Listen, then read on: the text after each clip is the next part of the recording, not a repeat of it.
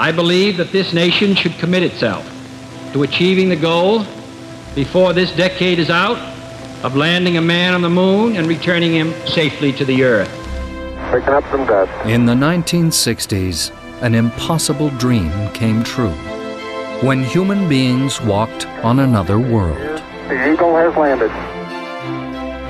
In all, 24 Americans went to the moon. But it took an unseen army of over 400,000 engineers and technicians to make it possible. This is the story of the men and women who built the machines that took us to the moon.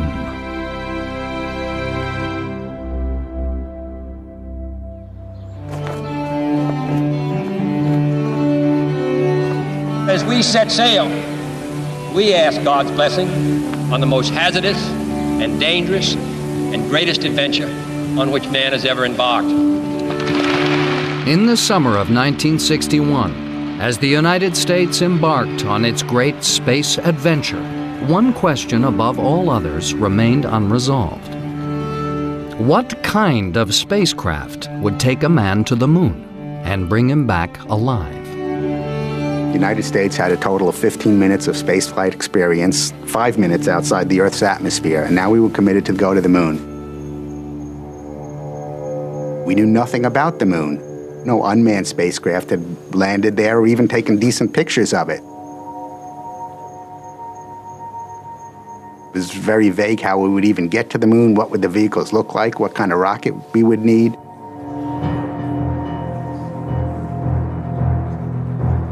During the initial briefings, everybody assumed the way to the moon was to send one huge spaceship all the way there and all the way back.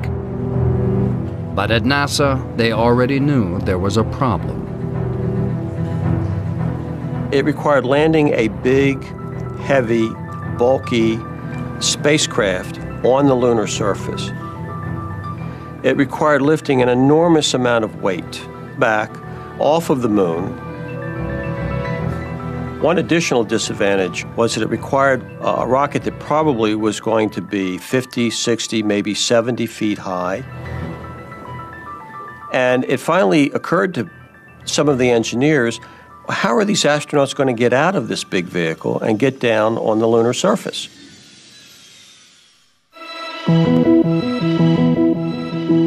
As NASA puzzled over the problem, an obscure engineer called John Houbolt came up with a radical alternative.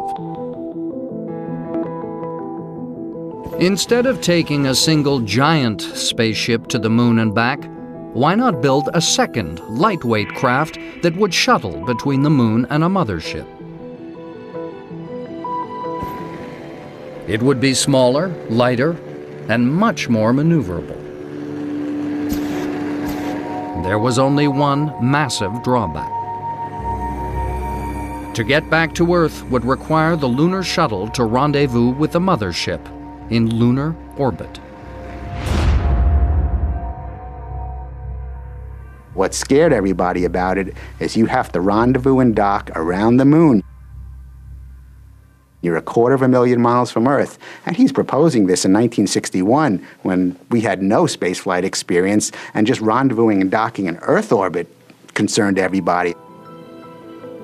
Every time he brought the idea up, he was shut down. Everybody said that he didn't know what he was talking about. It was very embarrassing because he is a very quiet, very reserved, reticent man, and he was very taken back by the hostility.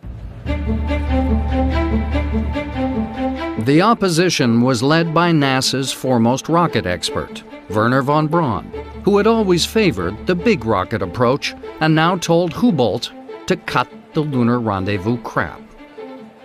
Wernher von Braun had a very strong ego, was very popular in the United States, very famous in the United States because of his appearance on television, and believed very strongly in the idea of taking a big rocket to the moon.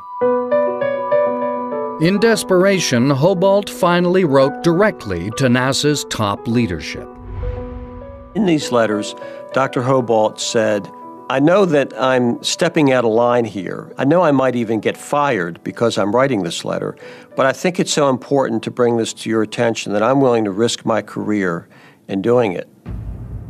He said something like, I know I may be a pain in the neck and I shouldn't be writing this letter to you and so on, but I feel so strongly about this, I feel impelled to write you. And he said in these letters to Dr. Seamans that the lunar orbit rendezvous idea was the only way to get us to the moon. Dr. Houbolt didn't say, I think it's one way, or he didn't say, I think it's the best way. He said, I think it's the only way. It was rather strident in the way it was written, and uh, my first reaction was, I'd like some way to get that son of a gun off my back. But Seamans was sufficiently intrigued to recommend that Houbolt's proposal should at least get a serious hearing. It was a turning point.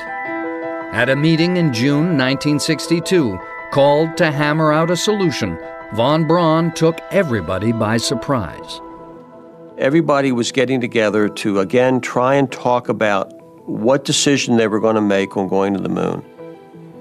The von Braun team gave a, a presentation, and when they finished, Wernher stood up and he said, I'm really proud of our group. He said, That was a wonderful presentation. You considered everything very, very carefully, but I have to tell you that that's not what I'm going to recommend.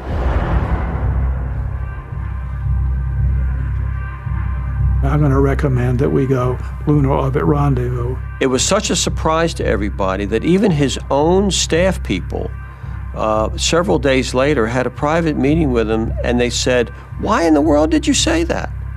What led you to believe that? We were completely surprised that you decided to announce for Lunar Orbit Rendezvous. Belatedly, von Braun had recognized it was the only way. And in the fall of 1962, U.S. aircraft manufacturers competed to build what became known as the Lunar Excursion Module, or LEM.